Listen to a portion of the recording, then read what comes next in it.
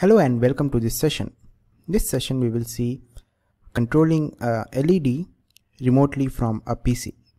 So this is a very minimal circuit. You can see here we have already an LED connected, a green color LED connected through a 100 ohm resistor and the black wire goes to ground and the red wire goes to digital input output pin 12. You can use any pin, you already know that. So very simple program, let's start. Let's get started. So we have here void setup and void loop as usual. As you know serial you have to use a serial uh, library serial dot begin is the function.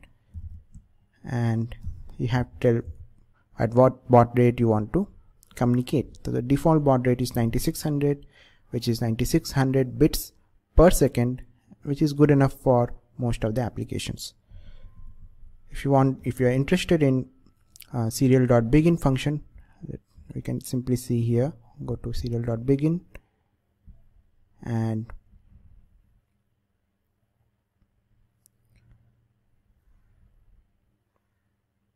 it says sets the data rate in bits per second for serial transmission data. Supported rates are given here. And we are using 9600 an optional second argument configures the data parity and stop bits. So this we need not to uh, configure because we are not interested in parity and stop bits. So the default communication is good enough for all our experiments. Fine. So let's get into programming. And pin number 12 is configured as output. So you know what to write. output. Next void loop. And here we have to uh, monitor whether any serial data is available or not. As I told you this RX and TX lines uh, let me show you through marker. This RX and TX lines here they are with respect to Arduino so when Arduino receives any data it says RX. And when Arduino transmits any data it's TX. Same with pin number 0 and 1 same, da same data can be uh, accessed from here.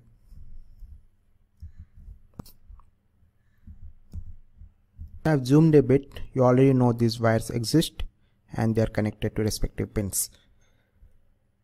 Now coming to our program. So how do we monitor whether any RX signal is available or not for that we have to monitor the serial buffer. So inside this microcontroller we have a peripheral somewhere inside which is a serial peripheral, serial hardware and the serial hardware has a buffer line. Buffer means it keeps uh, data, incoming data in separate um, separate reserved space okay so the reserved space we have to monitor whether is there any data or not which can be processed so that data, that Rx data, we can monitor using a function serial.available. So to know more about that function, let's get into documentation. And here I have arduino.available.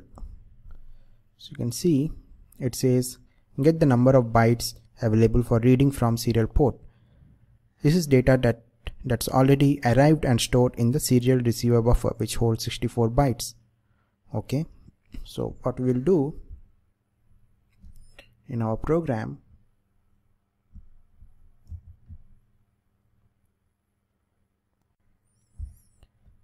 we'll simply write if uh, serial dot available greater than 0 means we have some bytes to read then do something. Okay? So do something let's say serial dot print let's say print ln print with a new line uh, some value maybe it's not a value let's say hello. This is just a test program we will see whether we are correct so far or not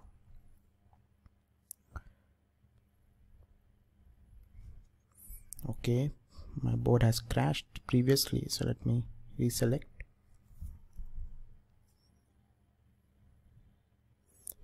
So you can see here the rx and tx line uh, blinked for a while then nothing happened. So this function serial dot available is continuously monitoring for any uh, data available for uh, read means any receiver data so from the PC we haven't sent any data yet. So moment we start our receive uh, moment we send some data from PC this receiver line of Arduino will become active.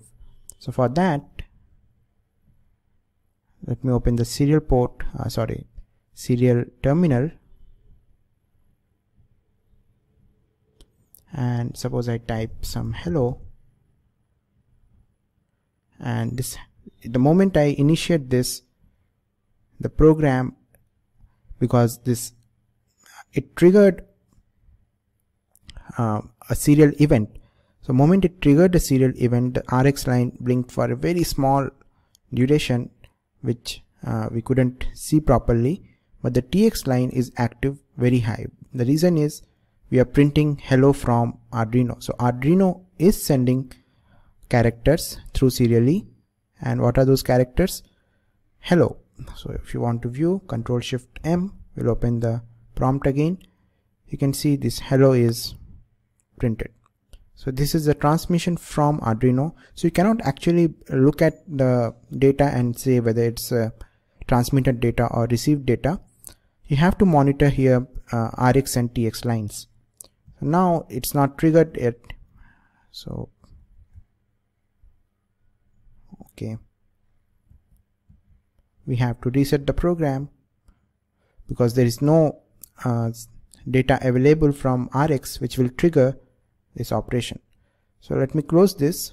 Uh, it's not actually we wanted we wanted to control this LED based on uh, user input. So let's read data from serial device. So how to read that? So we have functions for that. So in the Arduino here we have there is a read. If you go to read it says reads incoming serial data inherits from stream utility class and it reads one byte at a time. So the first byte it returns the first byte of incoming serial data available or minus 1 if no data is available. So let's try with uh, okay serial dot read. And this will return an integer value. So let me store that integer value in variable a. That's not very smart variable but okay let me let me make it uh, rx so received data right? Upload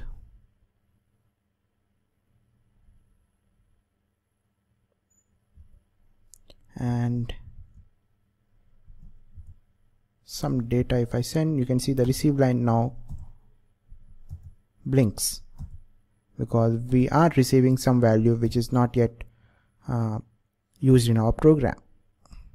Okay let's move further. So here we can say uh, serial dot println rx. See we still we are not very close to our program because this is a warm-up session. We are just looking at the various functions of serial. And actually we are trying to uh, provide a roadmap a think process that how we should proceed in any actual programs. So now we want to view what data has been received. So serial.println will print the variable rx. Okay so now let's again upload this program control u uploading is done. And control shift M will open the serial monitor. So suppose I type 1 and enter it prints 49 so the reason it prints 49 if you remember your ASCII table so let me show you the ASCII table. So I have here a Wikipedia image which says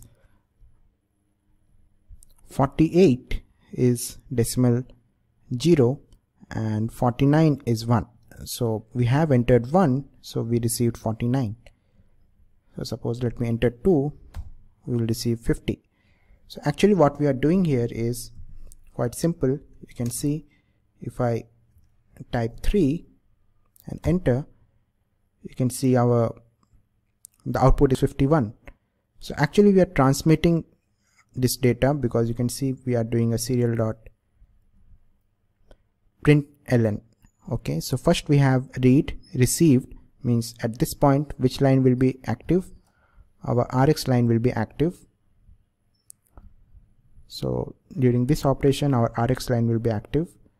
And later when we do serial print uh, ln our tx line will be active. I hope you understood this. I need not to repeat time and again okay so let's get into programming. So we need not to print this again and again. We know uh, 1 is 49 and 2 is 50 so what we will do is we will program that if user enters 1 it will turn on the LED and if he enters 0 it will turn off the LED so here we will see the switch statement. So switch statement we can simply see here as you know in the C C++ we know the switch statement used to switch multiple cases.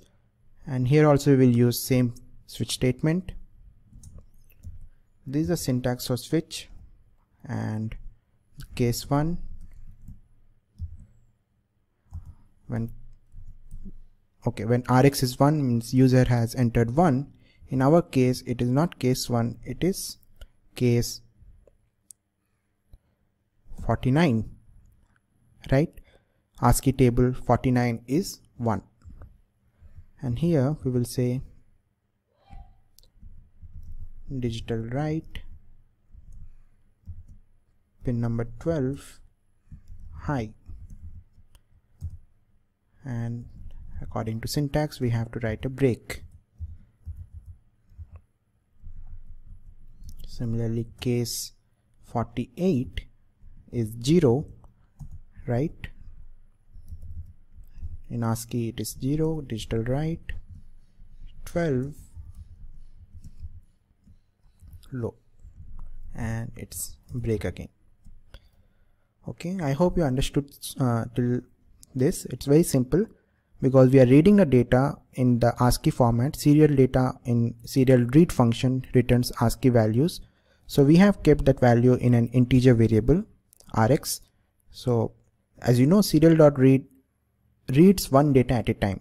So when we enter one it will read uh, one is a one byte and that comes into rx and it is interpreted as ASCII so it is turned to be 49 so based on that we have created our switch cases. 49 means on and 48 means off. Let's upload the program. Uploading is done. Let's open the serial monitor okay. So let me send one. Okay. And with 0 it goes off. I hope this is very simple and easy to understand. But you may ask me that uh, instead of ASCII why can't we use simply the decimal values? For that we have a separate function which we will see right away. Let's come to our documentation so here we have